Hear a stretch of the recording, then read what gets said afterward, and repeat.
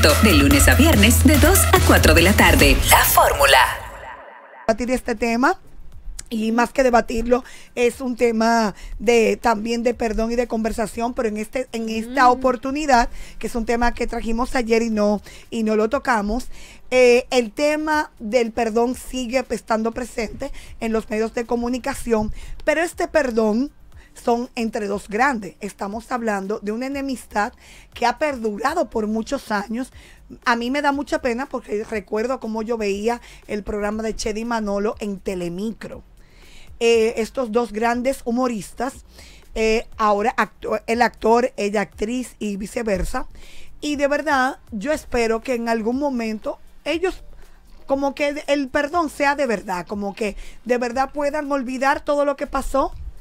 No, de, ver- de verdad, porque tú sientes que el de ahora no fue de verdad. No, el de, el de porque Manolo mencionó a Chelsea, no a Chedi.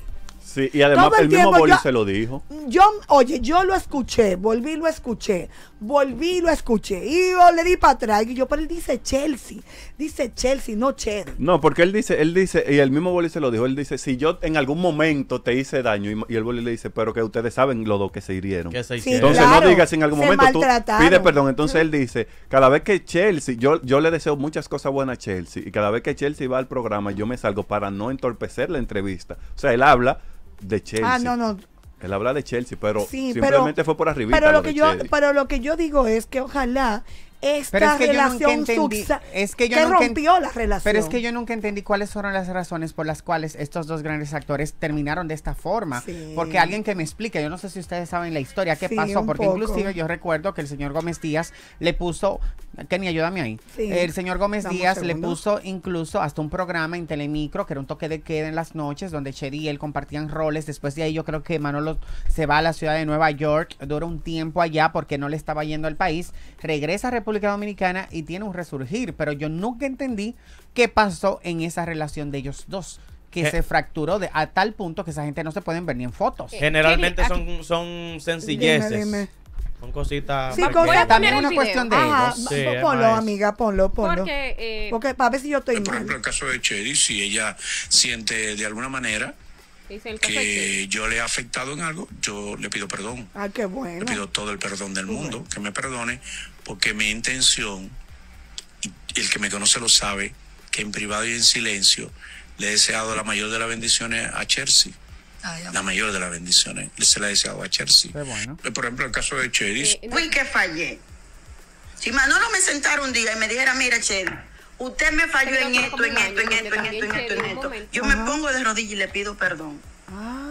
Sin soberbia. Muy valioso. Si yo soy, si tú me, si tú me demuestras que fui yo que te fallé, pero como para mí quien me falló fue él, yo no es que no lo perdono, pero le tengo su, su expediente. Su reserva Su de reserva. tiempo. Esto fue Ah. una entrevista que hicieron, no sé si ustedes recuerdan Hace, que hace un tiempo que no en fue Finanzas con en Humor, Finanzas donde con Humor. salió incluso Manolo, no estuvo en la entrevista en ese momento. Entonces Manolo dice... Yo creo que sí, lo- ambos tienen, si ya no lo cedió, yo creo que solamente y ella había cedido es, también. tomar, es tomarse un café y reencontrarse. Yo creo que porque ellos los dos son dos grandes artistas Claro. nuestros, a- cada uno con su sol, con su propia luz, y yo creo que sería cool incluso verlos a ellos en un evento, verlo Sí. en una película, verlos en una obra teatral, porque son magníficos dos talentos dominicanos de verdad y, y que y que esas rencillas ya se, pasen al olvido. Pero Manolo, Manolo verdad, lo dijo. me gusta Manolo eso. lo dijo ahí que como desde que él aceptó al Señor, porque él lo dice, antes yo era, ¿verdad? Pero desde que él aceptó al Señor, hace mucho que se hubiese podido dar ese perdón. Lo que pasa es que tiene que haber alguien, un, un mediador, ¿verdad? Alguien que esté Un ahí. amigo en Que, común, que el boli decía, no, que Sumaya tiene que ponerlo a hacer una película. Realmente es Robertico el que tiene que mediar esa relación. Robert- Roberto Ángel es que tiene que, que Está en llamarlo a los dos y sentarlos, sí. Y decirle, miren, eh, pídanse perdón mutuamente y vamos a trabajar. Sí, porque a veces son, son cositas pequeñas y eso es una muestra de que la gente se tenía mucho cariño. Porque, por ejemplo, para que haya un problema, un conflicto entre gente que no tienen un lazo fuerte, sí se requiere de que pase algo grande. Pero dos personas que se quieren mucho, a veces se hieren, es con una sencillez. Claro. Con cualquier cosita ya y dejaron de hablarse y el orgullo hace que no se conecten de nuevo. Ahora, ahora hay que ver, como dice Richard, por qué fue el conflicto. Porque cuando Manolo se va del país, que se va a Boston, a Boston. primero, Ah, él lo dice, porque lo llamaron para una película, él, se- él dice que él se fue primero porque cancelaron el programa. Y segundo, que él se fue debiendo 6 millones de pesos. O sea, que hay que ver si había un problema de dinero ahí. Oh. Sí, pero qué bueno que hoy. Pero eh, es que aunque ah, exista un problema de dinero, yo creo que No es para ¿verdad? Una, Claro. una relación tan fracturada. Bueno, sí, digo yo no tan sé. Sí, sí, fracturada. eh, Lo Pero la niveles gente, la Dios. gente Un gran- Digo, por cuarto. Sí. Richard, mira, tú, Y esa gente... tú me dejas una deuda de 6 millones, Que Richard. no me mira. hable nunca en tu vida, ¿oíste? Al ¡Seis favor. millones! Eh, tú me bueno, excusas, pues no pero... sé, la verdad. No, hay que- pero lo bueno es este paso que dio Manolo y que en su momento Pero también es lo real el paso de Manolo. Bueno, Richard, es, lo dije anteriormente, un, no estamos en el corazón ni en la mente de una no, no, persona. digo que sí es real porque hay veces que después que dice una cosa dice, no, es una broma y que yo no he visto nada. Ah, no, no, no, no Eh, eh, digo eh, eso. eh, es mentira esto. Yo le No acabo de eso. escribir a Manolo para ver si lo puedo llamar, pero no me ha respondido hasta el momento. Entonces, Sí, eh, ver de qué manera, sobre todo nos arroja luz de por qué se dio esta situación entre Chedi y él. Pero que eso yo tiene nunca... años? en- ay, mi amor, pero desde que yo estoy bebiendo leche en biberón, yo... Este es el problema. Bebiendo leche en biberón. pero la verdad... No, te, te Qué bueno que aclaraste en biberón. Sí, no, porque... No, porque siempre se... Porque- Railing, a ti te gusta. Mira, Deja esa vaina así.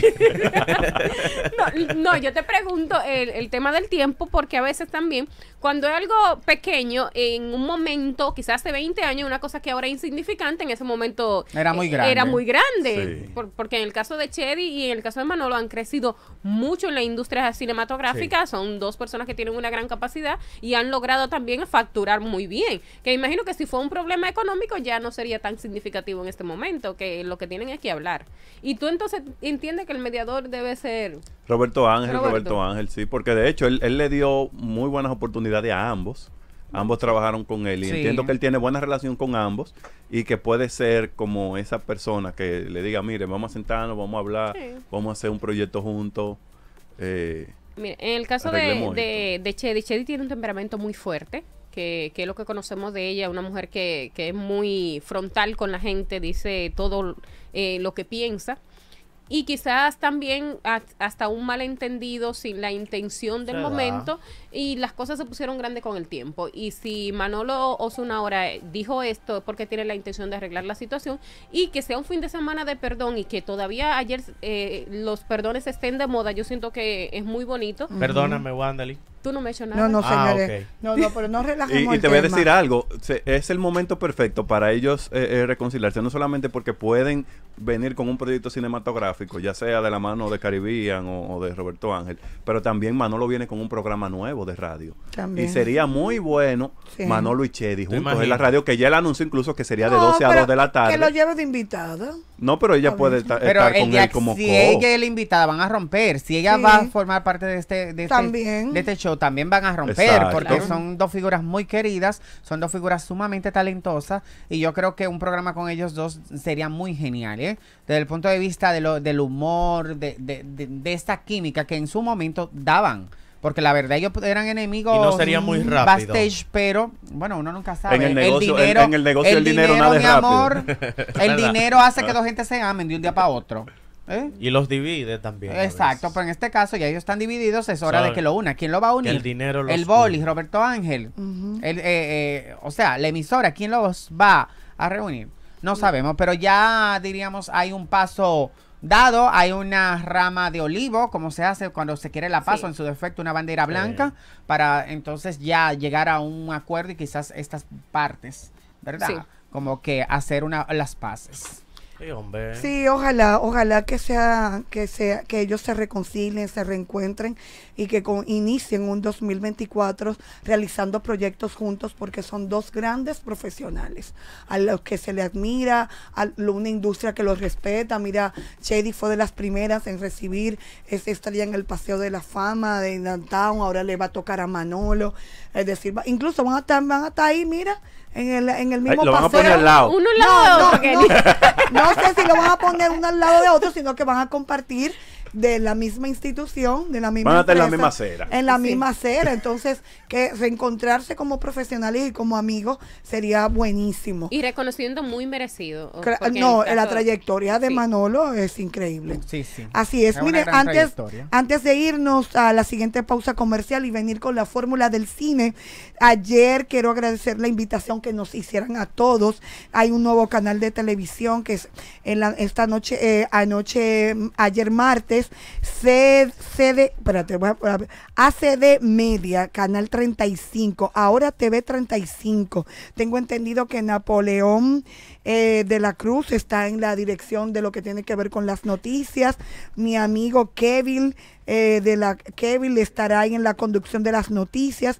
Así que enhorabuena para Dani Alcántara, su hijo Elías Alcántara y todo el equipo, que bueno, se abre un, un- un nuevo canal que tiene que ver con las noticias 24 horas a nivel social y político y me imagino que de entretenimiento. Así que felicidades para todos ellos porque es una oportunidad y, y una nueva plataforma para nu- nuevos comunicadores, para jóvenes que andan buscando oportunidades. Pues bueno. ahí nace otro Claro. canal, otro medio de comunicación y eso tenemos que celebrarlo y aplaudirlo. Así es, Kenny. Ahí también está mi gran amiga Yasmín Cabrera, que forma parte de este equipo, así que felicitarla Ah, a ella. Yasmín va a estar ahí también. Sí, también va a Ah, estar formando chulo. parte de este proyecto y, y qué bueno, eh, siento que Será por cable, Jeremy.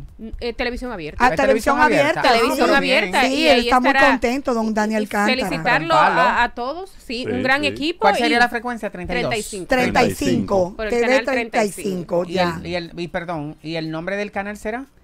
Creo Eh, así mismo. Sí, 35 TV. Canal tre- 35 TV. Ajá. Ah, ok. Sí, ok. él tiene como unas, BTV, eh, 35 algo BTV así. 35. Ve- Mi- BTV Mira, 35. Richard, antes de Sí, irnos a la pausa, la está. gente quiere saber con quién tú te unirías por dinero. Ok. ¿Con quién tú te unirías por dinero? Yo creo que Habla está con ahora. Yailin. Oye. Nos vemos. Ay, Adiós.